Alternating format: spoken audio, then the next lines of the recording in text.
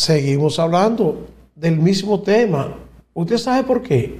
Oh, pero es que aquí, aquí en República Dominicana, hay haitianos que son líderes que están reclamando, reclamando que el país tenga un campo de refugiados.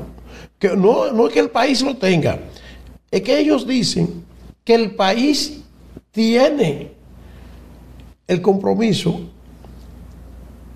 de aceptar refugiados haitianos y que lo que tiene que hacer el país es cumplir, porque ya eso es un compromiso internacional que habría hecho el gobierno de República Dominicana. Y están forzando a que el país tenga refugiados haitianos. Y uno se pregunta, ajá, refugiados haitianos para República Dominicana. ¿Y usted qué le parece? ¿Qué le parece esto?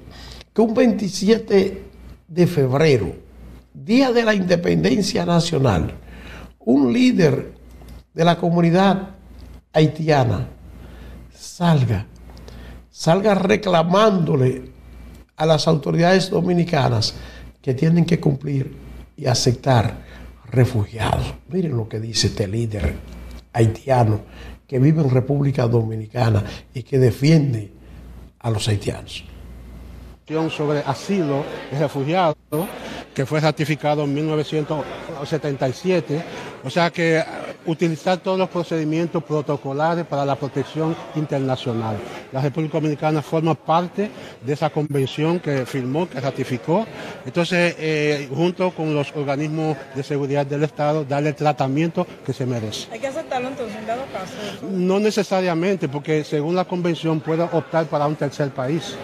Ahora, si la vida de las personas está en peligro, si, la vida de las personas está en peligro, si la vida de la persona está en peligro, eh, lo, que tiene que hacer el Estado Dominicano, valorar individualmente cada caso y si es posible enviar a esa persona a un tercer país prima la protección internacional de la vida de esa persona. Señor ya que estamos hablando de derechos de la, de la, niñez y todo eso, ¿cómo entiende usted que anda República Dominicana en cuanto a garantía de derechos de los niños, sobre todo de los migrantes que están aquí en el país, eh, que por, que por eh, ser hijos de personas ilegales también están en condición de ilegales?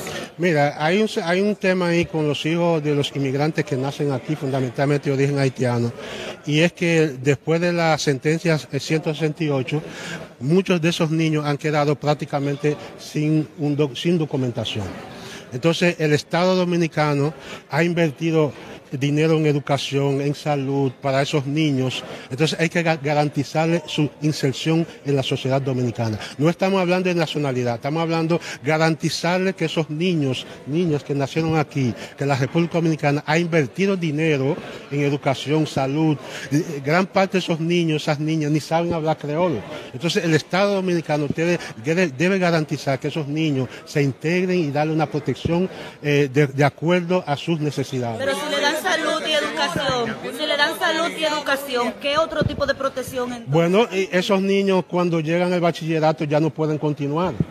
Entonces nosotros incluso desde la MENAMED estamos abogando, incluso la ley 169 garantiza, aunque sea una residencia permanente, que se le garantice. No estamos hablando de nacionalidad, sino un documento que permita que esos jóvenes puedan continuar su vida, porque al final el Estado ha invertido dinero en ellos. Entonces, eh, después de 16 años termina su bachillerato, entonces garantizar un documento que puedan permanecer. Hay otra legislación, hay otros países que hacen eso, sin tener que darle directamente la nacionalidad, sino darle un, documento que puedan seguir su vida, seguir estudiando, seguir eh, eh, aportando al país también. William, su expectativa con relación al discurso que va a realizar el presidente el próximo lunes. ¿Cómo? En lo que está diciendo este líder de la comunidad haitiana, referente a esos jovencitos que han nacido en República Dominicana y que no pueden obtener documentos. Esa es quizás una de las cosas más impactantes y que hay que resolver ahí tiene el parte de razón. Es una de las partes que hay que resolver. Yo conozco el caso de jóvenes hijos de padres haitianos que nacieron en República Dominicana, que son dominicanos porque ni siquiera conocen Haití, nunca han ido a Haití, no saben hablar otro idioma que no sea el español y asistieron a la escuela primaria, asistieron a los, bachilleratos, se hicieron bachiller, pero cuando van a la universidad no tienen cómo inscribirse. Las universidades no lo aceptan porque no tienen su documento en el país. Y si tienen documentos haitianos, entonces tienen que inscribirse en la universidad como extranjero y los recursos como extranjero no le dan. Es un drama el de que tienen muchos jóvenes nacidos en República Dominicana y que defienden este país, a pesar de ser hijos de haitianos, pues ellos son dominicanos de nacimiento, porque nacieron aquí y no han salido nunca de este país. Y esos jóvenes que son bachilleres, que pueden seguir estudiando, yo creo que sí, que hay que buscarle una salida a esa situación. Por lo menos para que esos jóvenes puedan seguir estudiando y se hagan profesionales. Porque usted cree que se van a hacer profesionales y se van a ir a Haití. No, yo le estoy hablando de jóvenes que han nacido aquí, que nunca han salido del país y que se han, han estudiado y han estado en contacto con los dominicanos y que son jóvenes que podrían ser mañana buenos profesionales. A eso debe buscársele una salida. Pero ¿se ha abordado este tema con responsabilidad? No, porque eso solo le interesa a esos jóvenes, a esos jóvenes que ya son bachilleres y que están deseosos de estudiar en una universidad. Yo conozco el caso de una jovencita que me lo plantearon los otros días y lamenté bastante de que realmente no se puede hacer nada. Ni siquiera Infotel lo acepta, señores.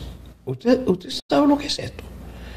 Ni siquiera Infotel acepta esos niños, jovencitos, que nacieron en territorio dominicano, que son hijos de haitianos y que no tienen documentación. Es un drama para ellos. Ahora, lo que no estoy de acuerdo para nada es que me hablen de refugiados haitianos en República Dominicana, porque ahí sí que hay problema. ¿Qué es lo que quieren? Imponernos refugiados en República Dominicana. Esperemos, esperemos a ver qué podría pasar si República Dominicana se planta se planta y le dice, mm, mm, para acá no, miren con sus asuntos de refugiados para otro lado. Pero yo creo que la solución número uno de Haití es mejorar las condiciones de Haití. Es que las grandes naciones vayan a Haití, eliminen esas bandas delincuenciales que son los que se han adueñado de Haití y pongan a Haití a producir, que pongan a Haití a producir y usted verá que si hay muchas construcciones de carreteras, de edificios, que si se incentiva el cultivo, la siembra agrícola, se desarrollan los campos haitianos y hay una fuente de empleo permanente, mucha gente buscando empleo allá en Haití, pues usted verá que nadie va a querer irse de Haití, pero primero tienen las grandes naciones que ir a dar, a dar la batalla. Y no es que usted le lleve dádiva a Haití. Haití no hay que seguirle dando nada. Lo que hay es que enseñarle a producir. Porque si aprende a producir, ese país sale hacia adelante. Pero si seguimos dándole ayudita para que coman, para que esto, se van a acostumbrar a eso. Y van a vivir todo el tiempo esperando que alguien le dé. Y yo creo que Haití lo que tiene que aspirar es a producir, aprender a producir. Y cuando aprenda a producir, entonces podrá desarrollarse, tendrá fuente de empleo, mucha gente va a querer estar allá porque va a ver cómo ganarse el peso. Es esa la tarea que debe implementarse, apostar al desarrollo, al desarrollo de Haití. Hay que apostar al desarrollo de Haití. ¿Por qué? Porque si Haití se desarrolla, entonces los haitianos nunca saldrán de su territorio. Nunca, nunca saldrán de su territorio. Ojalá que se entienda esto. Que Haití lo que hay es que darle herramienta para que se desarrolle, para que se creen fuentes de empleo, para que en Haití haya, haya cómo vivir, que se lleve la paz y la tranquilidad. Que vayan las grandes naciones a imponer el orden y ayudar a desarrollar Haití.